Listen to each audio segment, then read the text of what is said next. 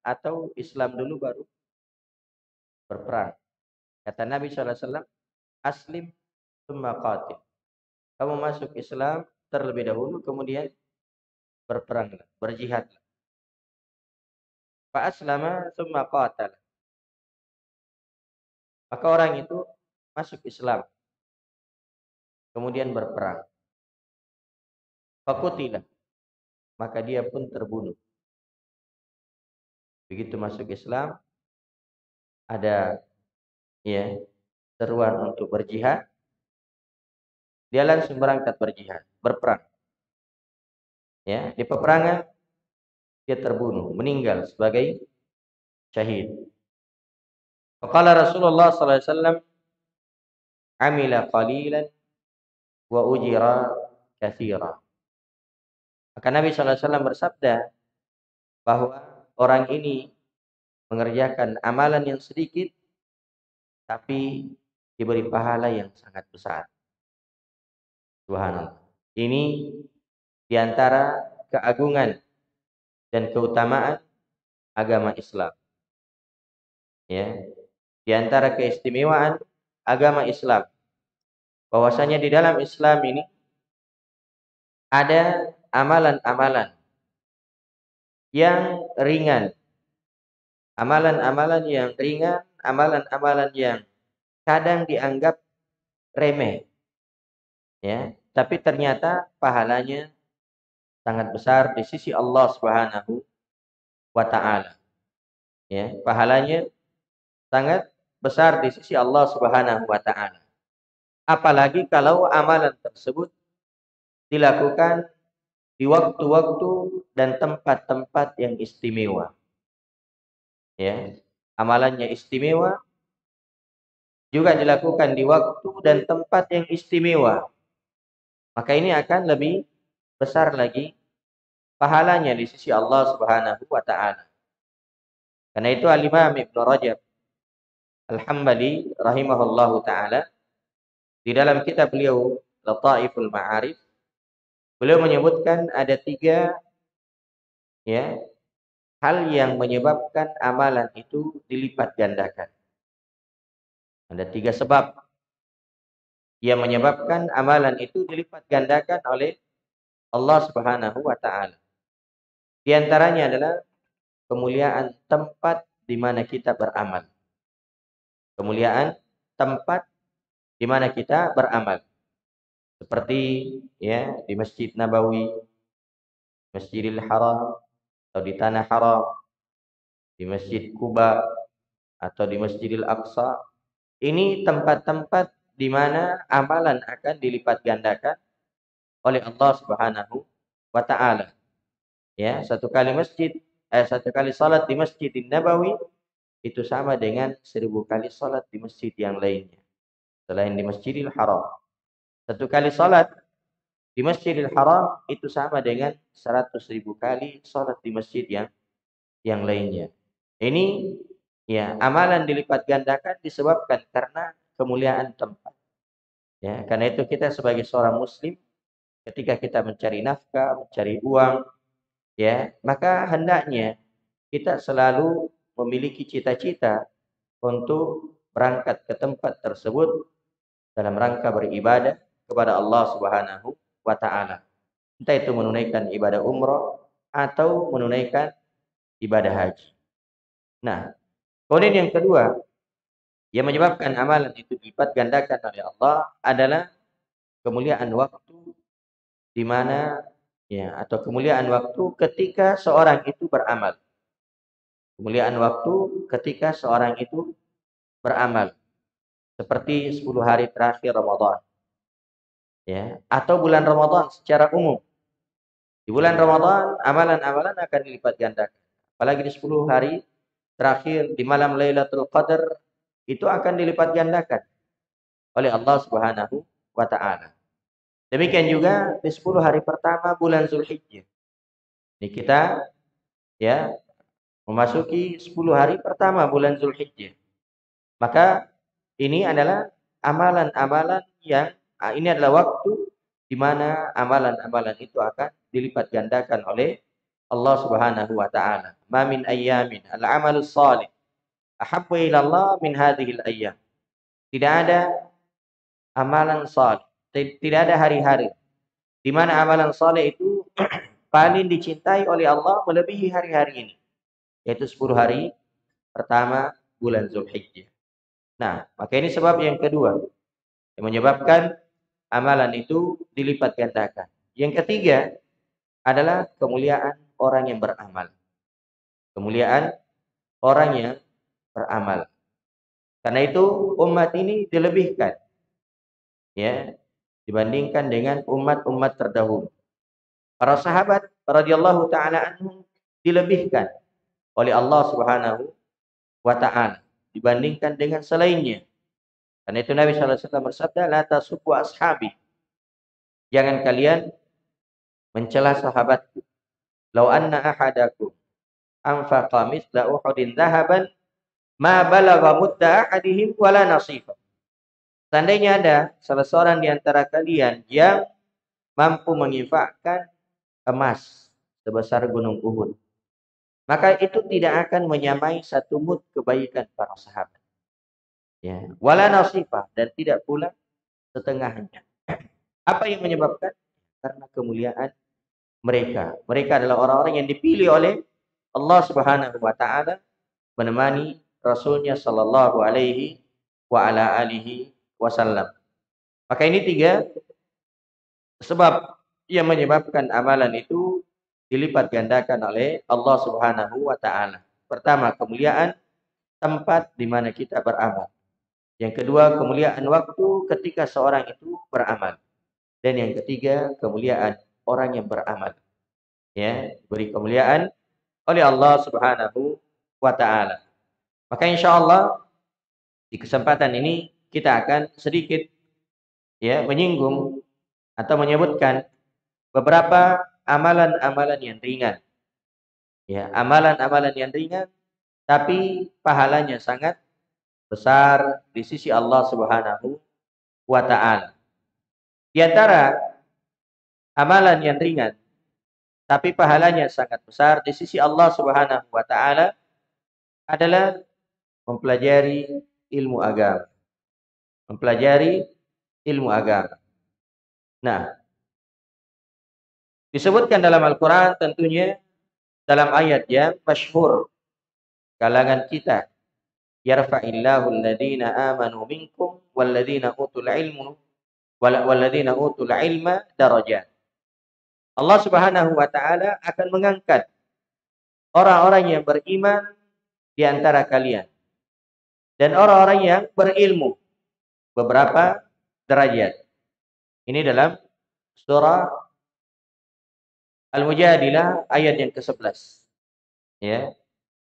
Di dalam ayat ini Allah sebutkan bahwasanya dia akan mengangkat derajat orang-orang yang berilmu. Ya. Atau orang-orang yang beriman kepadanya. Keimanan itu akan mengangkat derajat seseorang. Tapi ketika keimanan itu disertai dengan ya, disertai dengan ilmu, maka ya kedudukannya akan semakin tinggi di sisi Allah Subhanahu wa taala.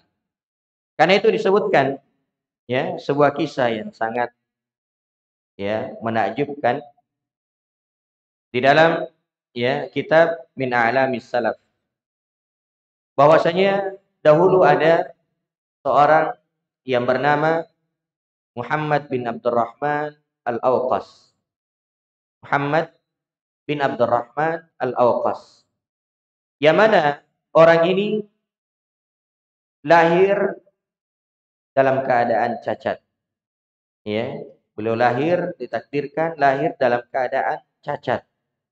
Ya lehernya pendek dan ada sesuatu yang keluar yang menonjol ya seakan-akan seperti mata tombak. Ya jadi orang ini lahir dalam keadaan cacat. Maka melihat kondisi tersebut ibunya berpesan kepadanya. Ibunya berpesan kepadanya. Kata ibunya ya bunayya la takun la takunu fi qaumin illa kuntal madhuka minhu al-maskura bihi.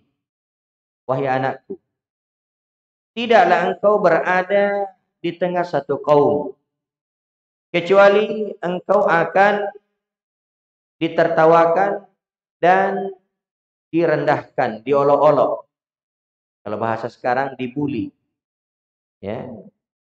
Nanti kamu kalau sudah ya masa kanak-kanak atau sudah agak besar kumpul-kumpul di ya bersama dengan manusia, maka engkau akan menjadi bahan bulian. Engkau akan ditertawakan. Kenapa? Disebabkan karena cacatmu ini. Ya. Maka apa solusinya? Kata ibunya, fa'alaika bi talabil ilm. Maka hendaknya engkau menuntut ilmu. Hendaknya engkau menuntut ilmu. Fa innahu yarfa'uka. Karena sungguhnya dengan menuntut ilmu itu yang akan mengangkat derajatmu. Subhanallah. Ya. Jadi sang ibu sangat paham bahwasanya tidak ada yang mengangkat derajat anaknya ini kecuali dengan menuntut ilmu kecuali dengan menuntut ilmu. Maka sang anak betul-betul ya menjalankan, memahami dan menjalankan pesan ibunya. Sehingga apa? Dia ya fokus, dia bersungguh-sungguh belajar. Ya, sehingga Allah menakdirkan dia menjadi seorang qadi, seorang hakim selama kurang lebih 20 tahun. Tidak ada orang yang berperkara di hadapan beliau kecuali pasti akan gemetaran. Ya, karena wibawa ya, beliau disebabkan karena keilmuannya. Disebabkan karena keilmuannya. Maka ini menunjukkan bahwasanya dengan ilmu seorang akan diangkat oleh Allah Subhanahu wa taala. Dan betapa banyak ya orang-orang atau di kalangan ulama kita dari sisi fisik. Dari segi fisik, fisiknya kurang.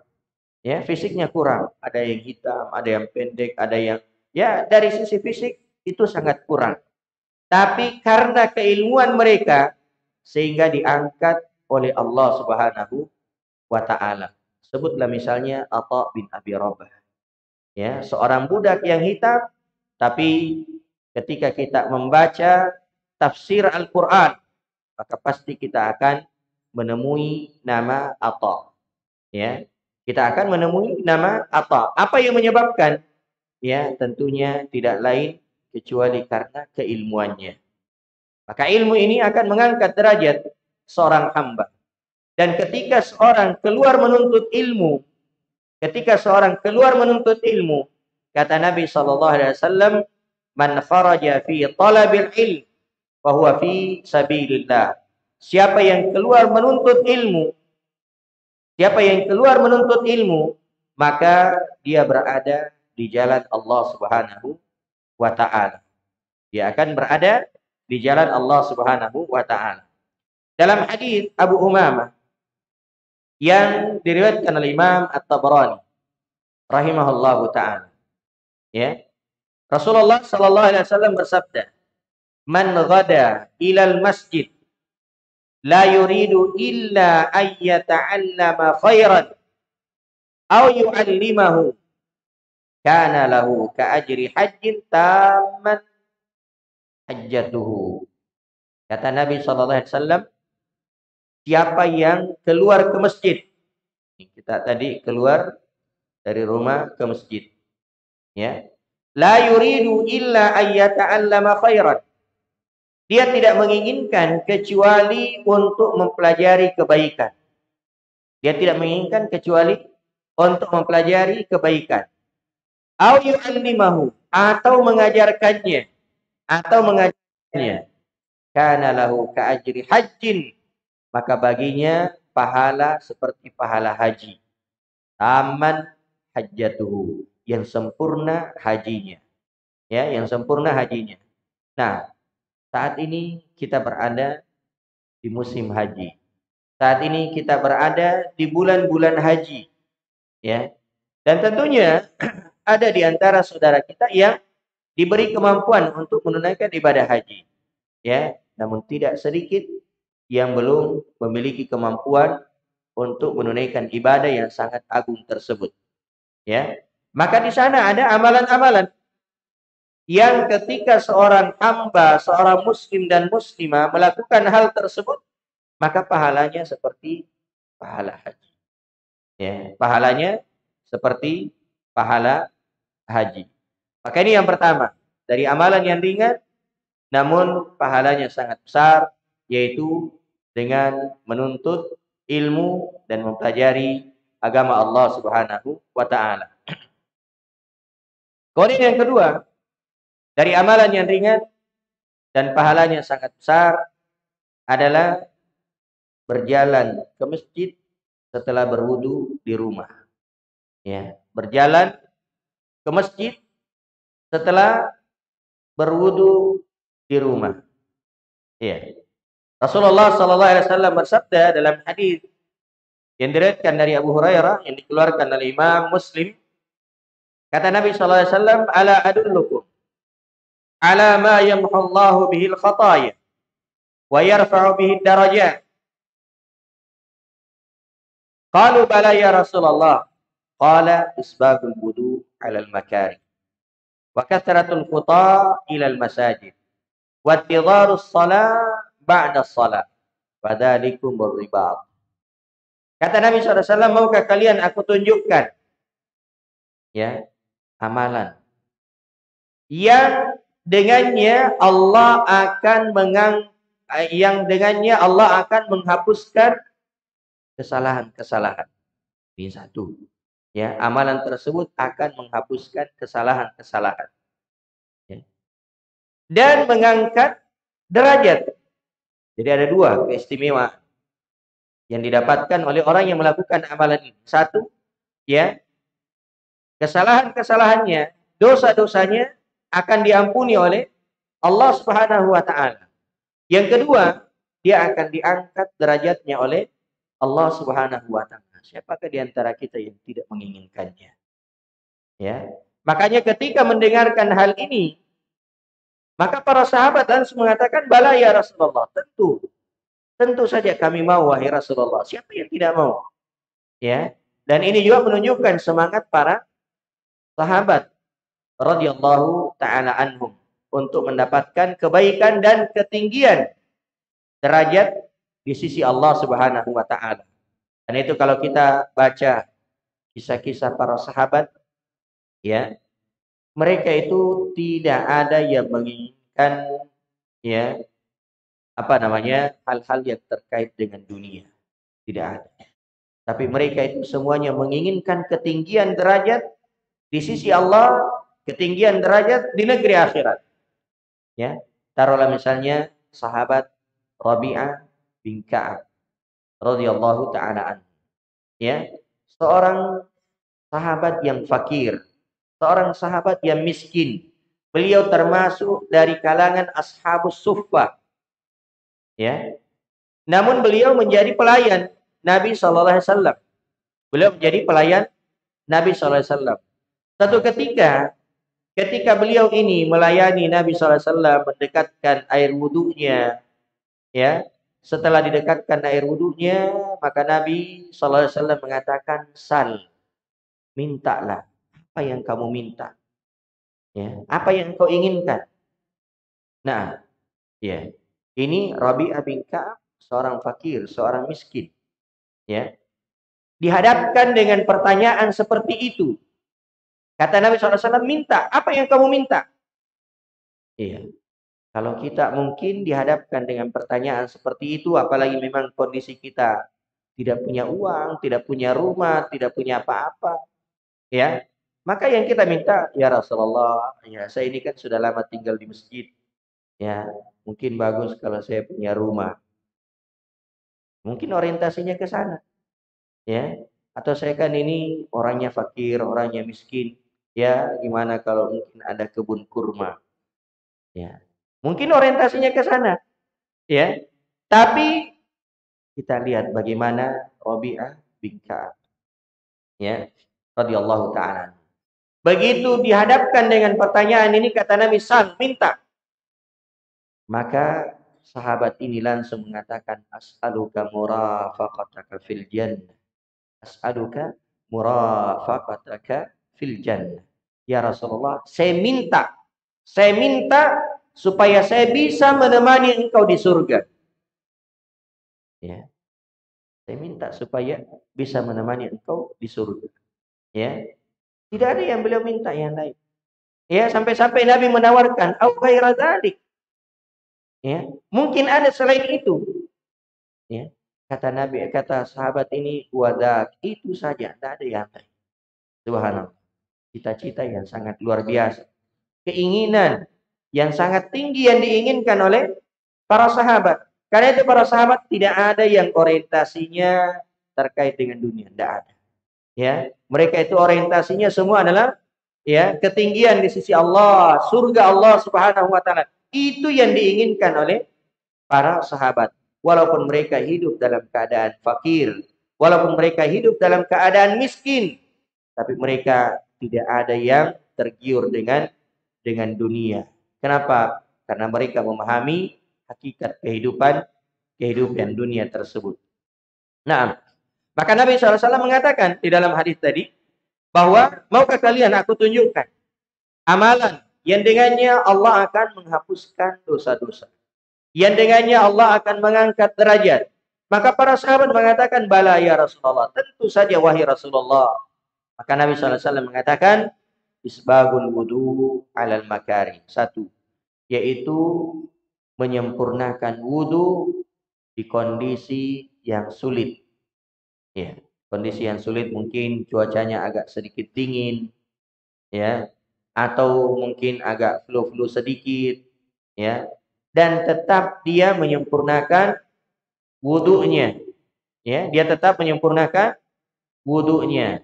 Entah itu dia berwudhu, ya, satu kali satu kali dengan sempurna, atau dua kali dua kali dengan sempurna, atau tiga kali tiga kali dengan dengan sempurna. Ini yang akan meninggikan derajat seseorang. Ya, walaupun ya dilihat kondisinya, kalau cuacanya sangat ekstrim, sangat dingin dan itu membahayakan, ya maka tentunya di sana ada keringanan yang lain yang diberikan oleh syariat. Atau seorang sakit, sakitnya agak berat dan akan memperlambat kesembuhannya, ya. Atau semakin menambah sakitnya, maka tentunya juga di sana ada ya udur atau keringanan yang diberikan oleh syariat. Tapi kalau seorang itu mampu, ya, dia melihat dirinya, dia melihat kondisinya, cuacanya agak dingin dan tetap dia berwudu, apalagi kalau memang dia tinggal di daerah yang dingin, sudah beradaptasi, maka ini yang akan mengangkat derajatnya ketika dia tetap menyempurnakan wudunya. Ya, ketika dia menyempurnakan wudunya. Kemudian yang kedua adalah bakat teratul ilal masajid. Banyak berjalan ke masjid. Banyak berjalan ke masjid. Makanya di antara hal yang disunahkan ya seperti yang disebutkan oleh Syekh Saleh Fauzan hafizahullah ketika seorang itu berjalan ke masjid maka dianjurkan untuk memperpendek langkah. Dianjurkan untuk memperpendek langkah. Supaya apa? Supaya langkah kita semakin banyak ya supaya langkah kita semakin banyak. Dan ketika langkah kita semakin banyak, maka langkah yang satu itu akan menggugurkan dosa dan langkah yang lain akan mengangkat derajat kita. Akan mengangkat derajat kita. Dan subhanallah, ya, melangkah ke masjid ini walaupun kelihatannya ringan, walaupun kelihatannya sederhana, tapi tentunya itu ringan bagi orang-orang yang diringankan oleh Allah Subhanahu wa taala. Karena ya betapa banyak juga orang-orang yang tinggal di sekitar masjid. Ya, bahkan sudah ada di masjid. Sudah ada di masjid. Ya, ada orang-orang yang sudah ada di masjid. Tapi begitu ada, begitu ada ternyata dia hilang dari masjid. Ya, subhanallah. Ya, ada orang-orang yang seperti itu ya ibarat penggali kubur ya bagaimana itu penggali kubur penggali kubur itu dia galikan orang kuburan tapi dia sendiri tidak mau masuk di dalamnya ya Banyak orang yang seperti ini. Dia sudah berada di tempat-tempat yang di situ banyak kebaikan, tapi dia sendiri tidak mendapatkan. Ya, dia berada di sekitar tempat kebaikan. Ya, tapi ternyata dia tidak mendapatkan kebaikan tersebut. Ya, ada orang yang kerja di masjid. Ada orang yang kerja di masjid. Begitu ada ternyata tidak sholat. Nasallallahu Maka ya ini tentunya ringan bagi orang yang betul-betul diringankan dan mendapatkan hidayah dari Allah Subhanahu wa taala. Karena itu kenapa kita selalu minta hidayah? Karena hidayah ini sangat dibutuhkan. Hidayah untuk mengenal kebaikan dan hidayah untuk dikokohkan di atas kebaikan tersebut. Kemudian yang ketiga kata Nabi sallallahu alaihi wasallam adalah wantidharus salat ba'da salat. Menunggu ya waktu sholat setelah sholat. Ya, menunggu waktu sholat setelah sholat. Iya.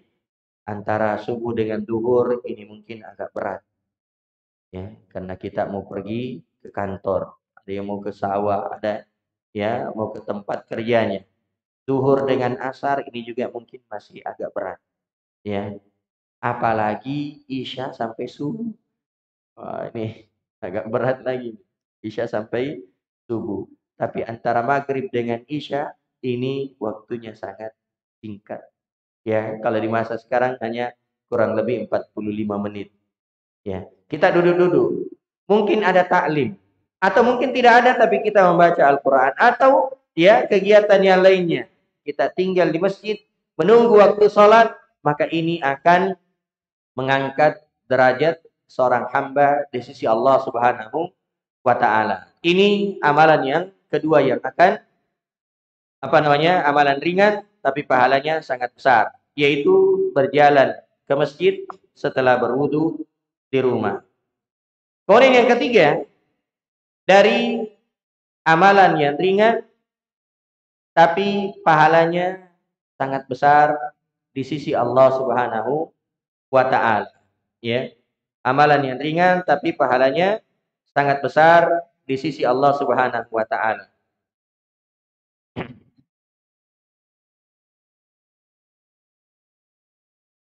Yaitu berzikir kepada Allah Subhanahu wa taala.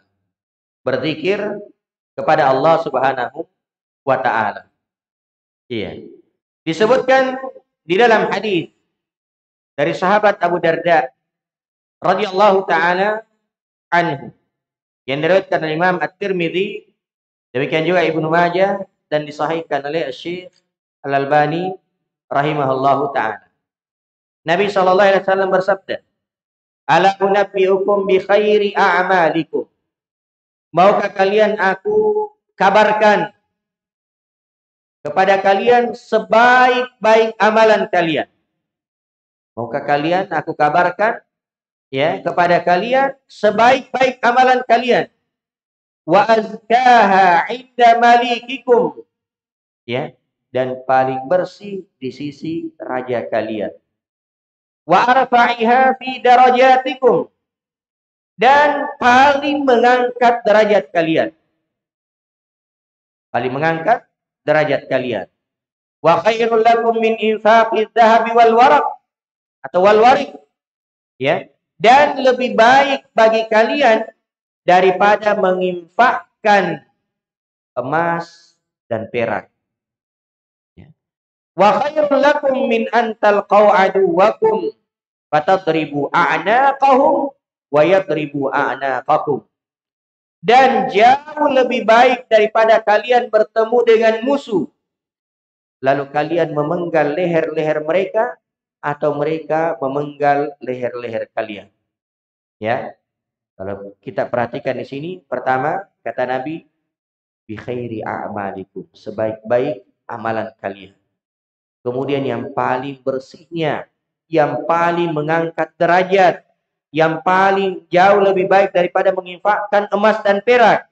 Jauh lebih baik daripada bertemu dengan musuh, lalu kita penggal dia atau dia memenggal kita. Subhanallah. Ya. Ketika mendengarkan hal tersebut, Para sahabat mengatakan, "Bala ya Rasulullah." Tentu saja wahai Rasulullah. Ya. Qal maka Nabi wasallam bersabda, "Zikrullah." Berzikir kepada Allah. Ya, ini yang akan mengangkat derajat seorang, yaitu dengan zikir kepada Allah Subhanahu wa taala.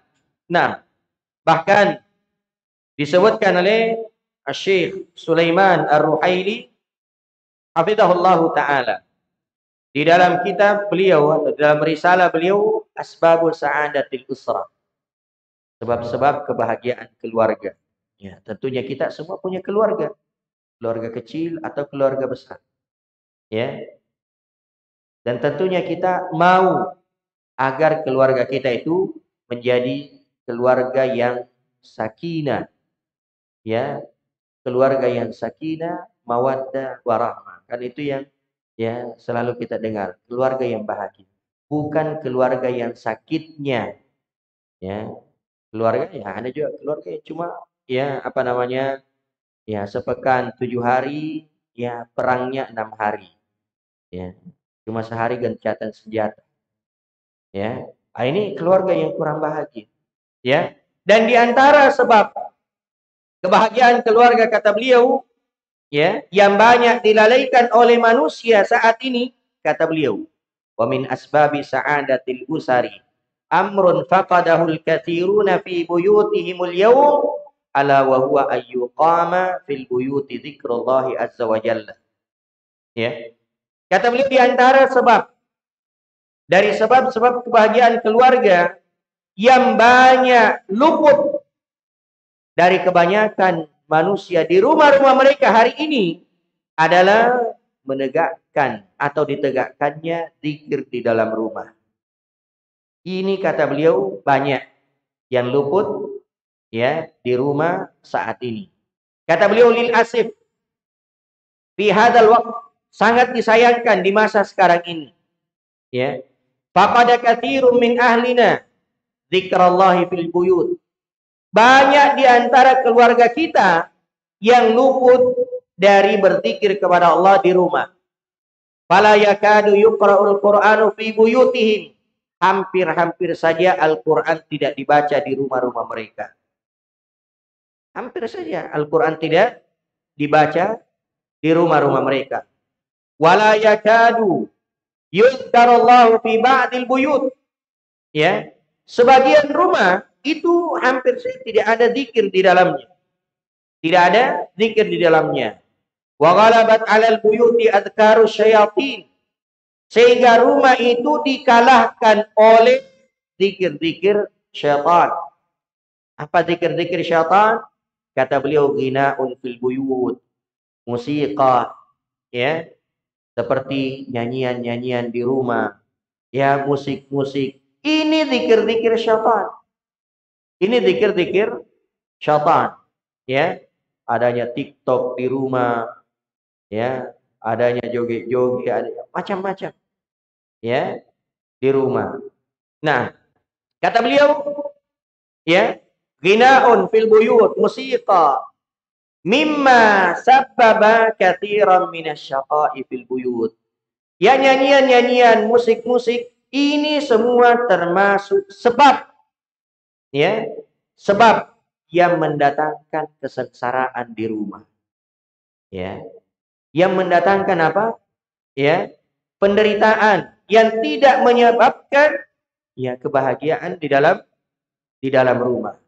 Ya lalu beliau ya di sini menyebutkan beberapa keutamaan zikir kepada Allah Subhanahu wa taala. Ada zikir-zikir yang dibaca di waktu pagi, di waktu sore, ya, membaca tiga kul dan seterusnya. Lalu beliau mengatakan bahwasanya ya uh, kata beliau di akhir dari poin tersebut kata beliau hafizahullah taala bal balagana anna ba'dhan nasi yadkhulu baitahu wa huwa yughanni wa yusaffiq Wa mithlu hadha yadkhulu ma'ahu syaitan bal yasbiquhu syaitanu ila al-bait fa kaifa takunu fi baitihi sa'adah. Di antara hal yang banyak luput dari kaum muslimin dari manusia saat ini adalah berzikir ketika masuk ke rumahnya. Ya. Berzikir ketika masuk ke rumahnya dengan membaca tasmiyah bismillah masuk ke rumah beri salam kepada keluarganya. Berzikir ketika makan, baca tasmiyah, kemudian dia makan. Maka orang yang seperti ini, orang yang seperti ini ketika dia berzikir ketika masuk rumah, berzikir tak kala dia makan, maka syaitan akan berkata kepada teman-temannya, tidak ada la mabita lagu wala asya. Tidak ada tempat menginap di rumah ini dan tidak ada jatah makan. Tidak ada jatah makan. Ya. Tapi kata beliau, ya. Tapi kata beliau bahwasanya telah sampai kepada kami. Ya, telah sampai kepada kami. Mungkin ada yang mengabarkan, ada yang menyampaikan ya bahwasanya sebagian manusia masuk ke dalam rumahnya wa huwa yuqanni wa yusaffik sambil menyanyi-nyanyi dan tepuk-tepuk tangan. Nah, ada orang yang seperti itu, mungkin ya apa proyeknya ya berhasil, wah gembira sekali sambil bersiul-siul masuk rumahnya. Ya, sambil tepuk-tepuk tangan, sambil nyanyi-nyanyi. Ya, apa yang terjadi? Kata beliau, orang yang seperti ini, syaitan akan masuk bersamanya. Bahkan syaitan akan mendahuluinya masuk ke dalam rumah. Lalu bagaimana mungkin?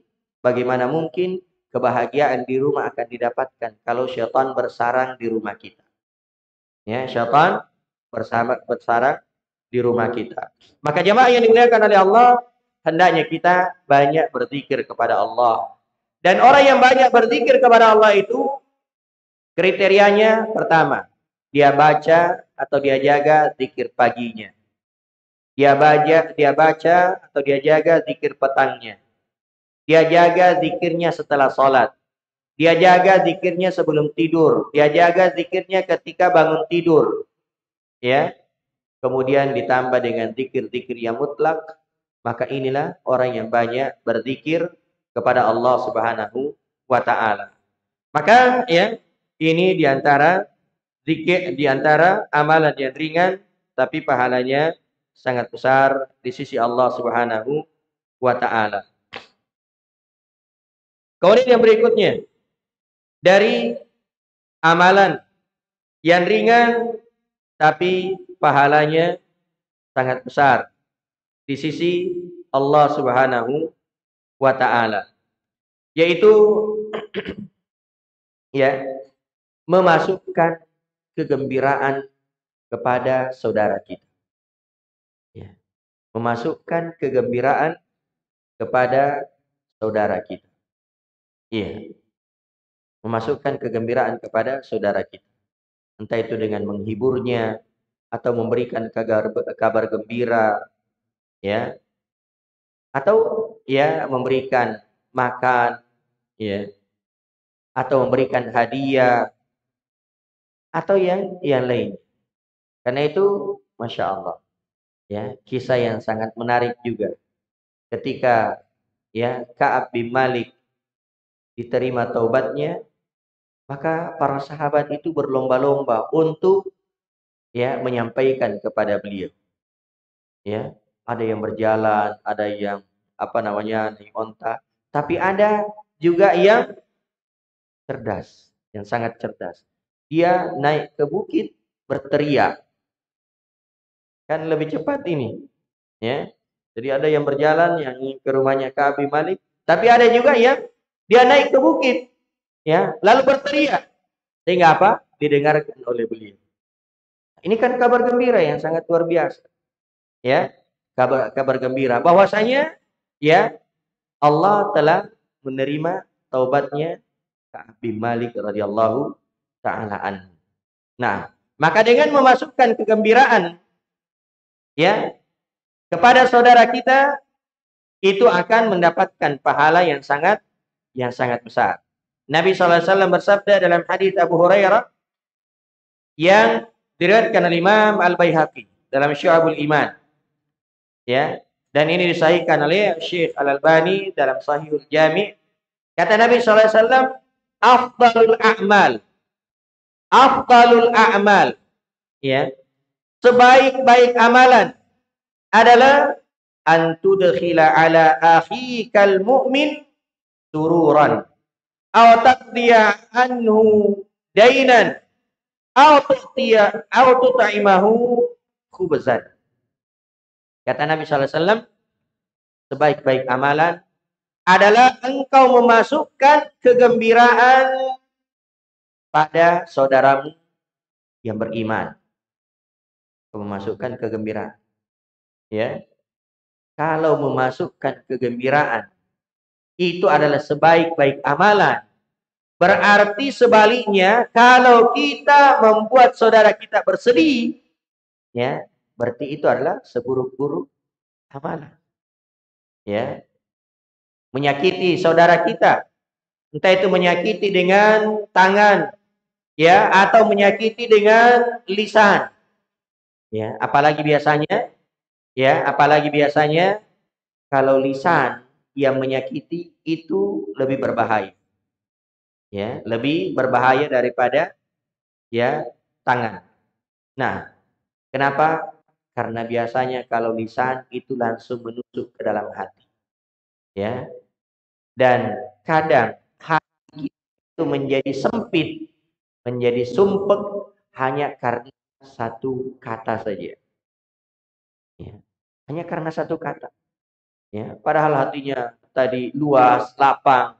Tapi disebabkan karena satu kata atau satu kalimat sehingga apa?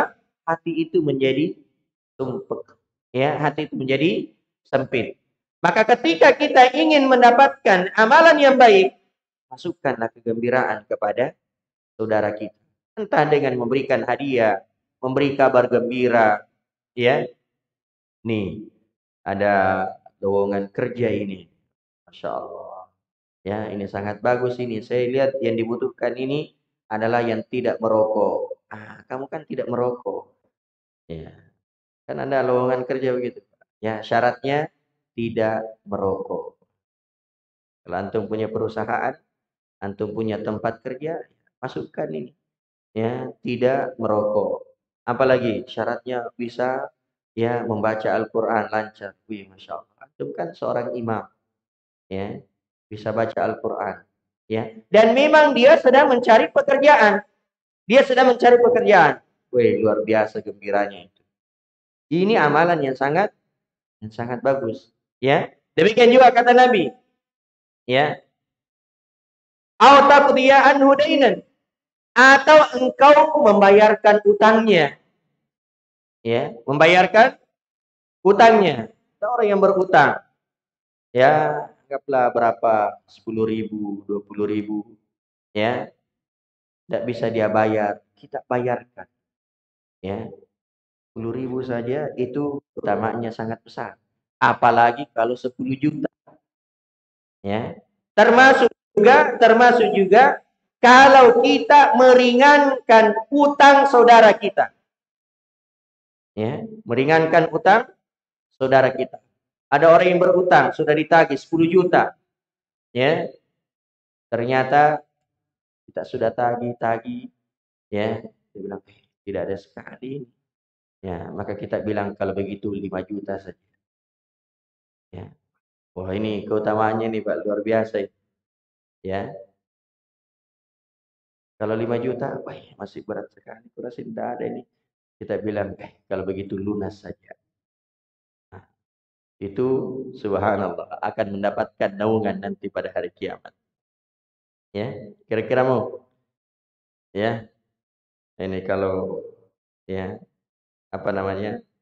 Ada pembiayaan-pembiayaan begini nih. Enak. Ya. Ada yang datang lagi.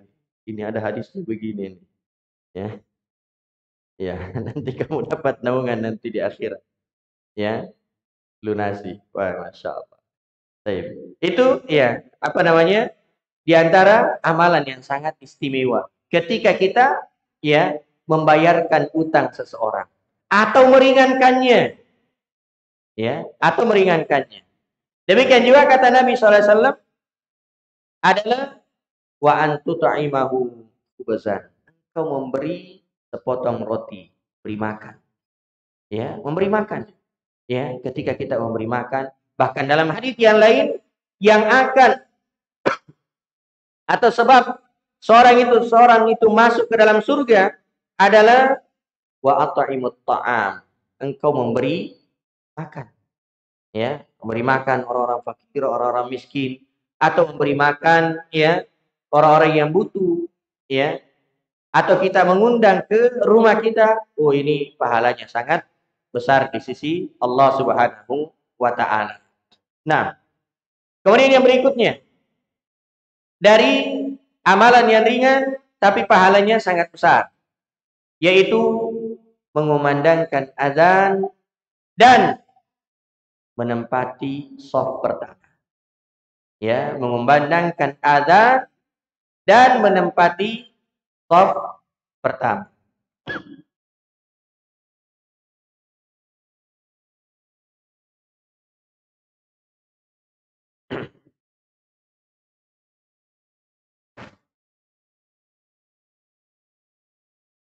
Iya. Nabi SAW bersabda dalam hadis yang diriwayatkan oleh Imam Al-Bukhari dan Muslim dari sahabat Abu Hurairah. Kata Nabi SAW, "Lau ya'lamun nasu ma fin nida'i was-saffil awwal thumma lam yajidu illa ayyastahamu alaihi lastahamu alaihi seandainya manusia itu tahu ya, pahala pada adat pahala pada adat ya dan soft pertama kemudian mereka tidak mendapatkannya kecuali harus dengan undian mereka harus mengundi lastahamu alai maka pasti mereka akan mengundinya. Ya muadzin. Muadzin itu punya keutamaan yang sangat besar.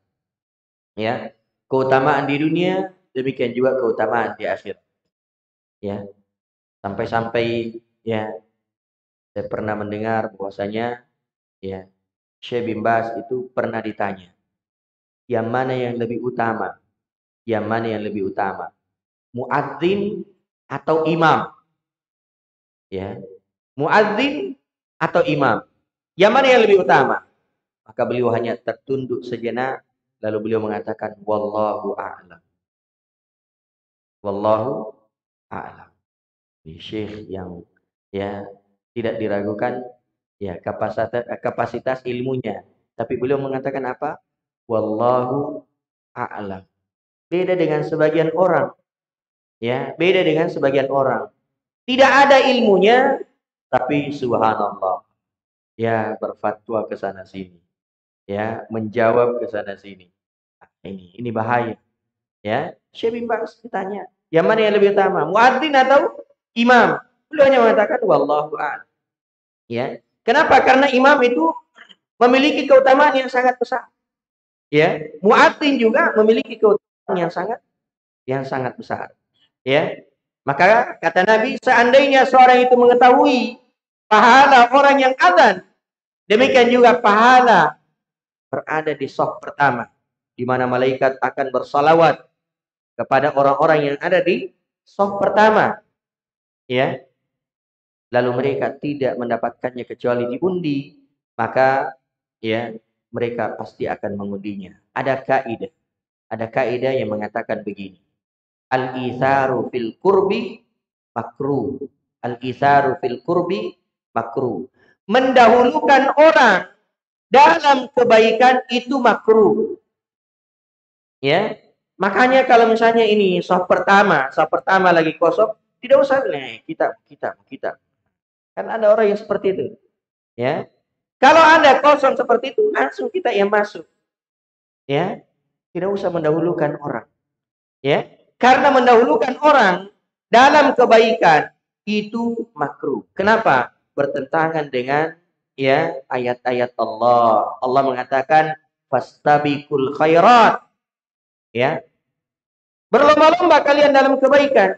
Wasari'u ila maghfiratin min rabbikum. Ya, segera kalian kepada ampunan Allah Subhanahu wa taala. Ya. Wasabiqun as-sabiqun. Demikian juga wa fi dzalika falyatanafasil mutanafisun. Maka ketika ada hal-hal yang seperti ini, kita yang terlebih dahulu. Kita yang terlebih dahulu. Ya, tapi kalau perkara dunia, ah, kita saja yang belakangan. Ya, ada sudah dihidangkan makanan. Ya, sudah dihidangkan makanan. Orang lagi ini ngantri, eh, kita mundur-mundur maki dulu. Kita belakangan. Itu masalah dunia. Tapi biasanya terbalik ya. Ya, kalau sudah dihidangkan makanan, wah, masya Allah, ya duluan. Tapi kalau ada saf yang ter, apa, ada celah saf, kita bisa aja pak, kita bisa aja pak. Ya, ah, ini kurang kurang afdal, ya kurang afdal. Nah, al isaru fil kurbi, ya makruh. Mendahulukan orang dalam kebaikan itu makruh. Nah, kemudian yang berikutnya, ya dari amalan yang ringan tapi pahalanya sangat besar adalah menyingkirkan gangguan dari jalan. Menyingkirkan gangguan dari jalan. Nah, ya gangguan dari jalan itu banyak. Mungkin berupa batu, mungkin berupa duri, ya. Termasuk juga mungkin ada lubang-lubang di jalan, ya. Tambal di apa namanya? timbun Ya, itu juga termasuk. Ya, atau mungkin ada ranting, ya, ada pohon yang ada di depan rumah kita. Rantingnya keluar ke jalan, menghalangi, bisa ya menghalangi orang. Kita tebang atau kita pangkas. Ya, maka ini amalan yang sangat istimewa. Amalan yang pahalanya sangat sangat besar, ya. Rasulullah SAW bersabda dalam hadis yang diriwayatkan oleh Imam Muslim, Kata Nabi SAW, Marra rajulun bigusni syajaratin ala dhahri tariqin. Ada seorang laki-laki yang melewati sepotong ranting yang menjulur ke jalan. Ya, yang menjulur ke jalan. Faqala lalu orang ini mengatakan, Wallahi la unahiyanna hadha 'anil muslimin la yu'dhihim fa udkhilal jannah. Kata orang ini demi Allah, saya akan menyingkirkan dahan ini. Ya. Sehingga tidak mengganggu kaum muslimin. Maka dengan perbuatannya ini, dengan perbuatannya ini dia dimasukkan ke dalam surga Allah Subhanahu wa taala. Kalau menyingkirkan duri dari jalan, kalau menyingkirkan duri dari jalan, menyingkirkan dahan dari jalan, itu merupakan hal yang akan menyebabkan seorang masuk ke dalam surga. Terus bagaimana kalau sebaliknya? Bakar banjir di jalan. Ya. Bakar ban di jalan. Ya. Yang tadinya tidak macet, tapi dengan sebab itu macet. Itu akan mengganggu orang. Itu akan mengganggu orang. Ya. Kalau Nabi SAW bersabda bahwasanya ya iman itu al iman bid'ah wa sab'una syu'bah. Iman itu 60 sampai 70 cabang. Fa'alaha qaulu la ilaha illallah. Cabang yang paling tingginya adalah mengucapkan la ilaha illallah. Ya. Wa imatatul adha anit tariq. Ya, atau wa adnaha imatatul adha anit tariq yang paling rendahnya adalah menyingkirkan duri dari jalan. Ya, ada orang yang misalnya mobilnya mogok, ditanjakan. Ya, dia ganjal mobilnya. Kemudian ya setelah itu naik pergi. Ya, antum ada di belakangnya. Tidak usah ngomel-ngomel. Ini orang tidak singkirkan batunya. Kita saja singkirkan. Allah dengan sebab itu Allah akan mensyukurinya.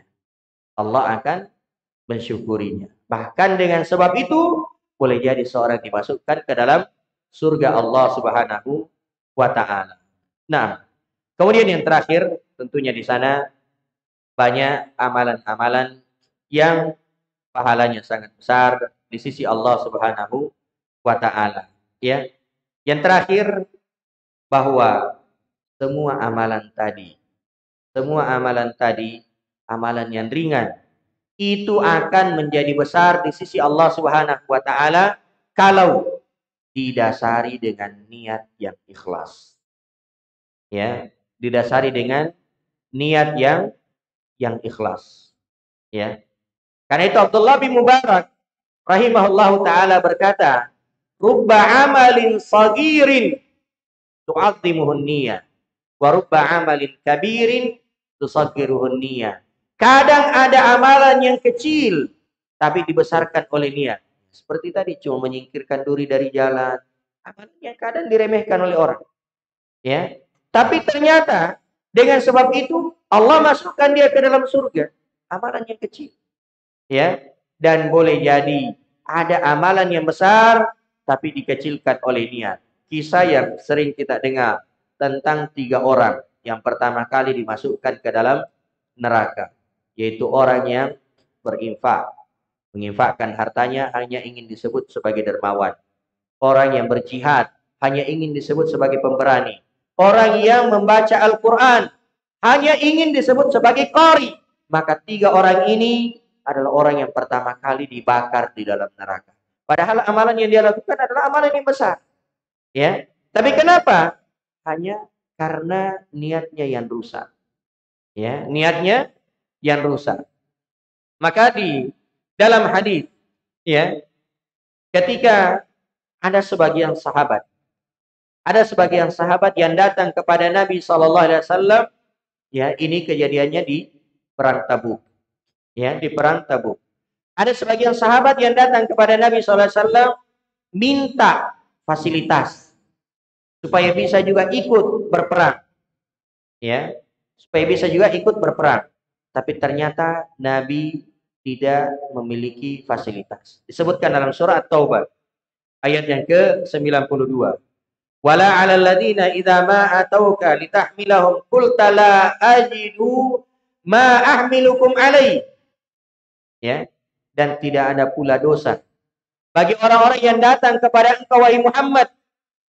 Ya. Supaya kamu memberikan fasilitas kepada mereka berikan onta supaya mengangkut mereka. Ya. Tapi engkau mengatakan la ajidu ma ahmilukum alaih. Saya tidak punya, saya tidak menemukan sesuatu yang bisa mengangkut kalian. Ini sebagian sahabat datang kepada Nabi SAW. Ya, minta fasilitas. Ya, agar difasilitasi supaya pergi ke perang Tabuk. Padahal mereka ini sebenarnya sudah ada udhu. Ya, Ketika Nabi SAW tidak mampu memfasilitasi mereka, bagaimana kondisi mereka? Tawallaw wa a'yunuhum tafidu minad dam'i hazanan alla yajidu ma yunfikun.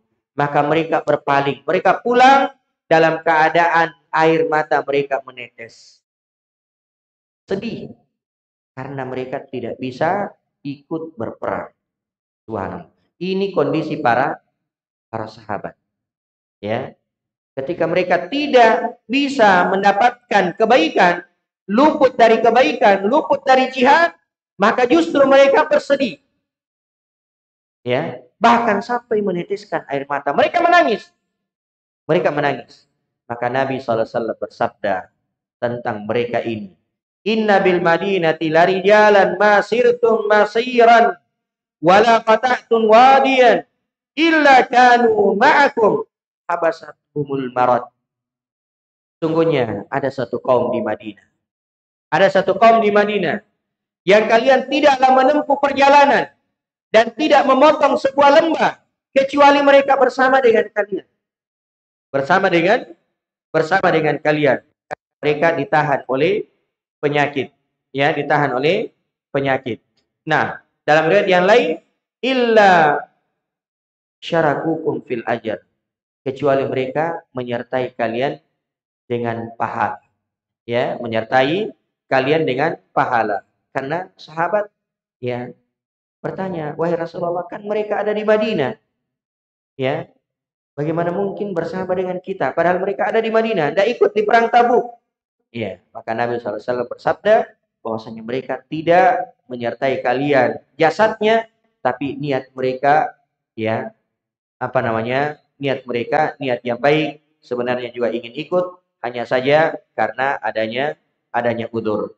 Karena itu dalam hadis yang biasa juga kita dengar mungkin terkait dengan dunia ini diberikan kepada empat orang. Ya, innama dunya li arba'ati nafarid. Sungguhnya dunia itu kepada empat orang. Ya. Yang pertama, seorang yang diberi harta dan juga diberi ilmu. Ya. Dengan ilmunya dia mengetahui hak hartanya. Dia menginfakkannya di jalan Allah, dia mensedekahkannya dia ya dengan ilmunya. Maka inilah di afdalil manazil. Ini yang paling tinggi kedudukannya kata Nabi sallallahu alaihi wasallam. Ya. Yang kedua, yang kedua adalah orang yang diberi ilmu saja, tidak diberi harta. Tidak diberi harta, tapi dia punya niat yang baik.